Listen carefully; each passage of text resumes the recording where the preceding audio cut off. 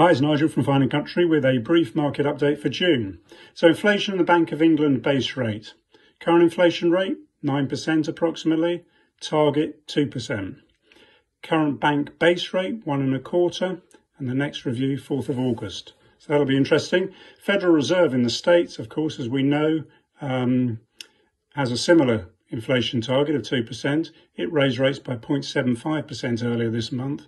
And Powell, the chairman of the Fed, said it's likely to continue increasing rates in increments of half a percent or 0.75 a percent. So central banks have shifted gears now from propping up the economies during the pandemic to trying to slow down a surge in consumer prices. Time will tell, of course, what effect this has on the housing market.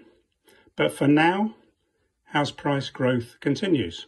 Locally, CV37, 35, uh, we have in the upper quartile, uh, so 700,000 plus, we have 174 properties on the market, 77 of those for sale, 97 under offer. So still very much a seller's market. Thanks for watching. Cheers.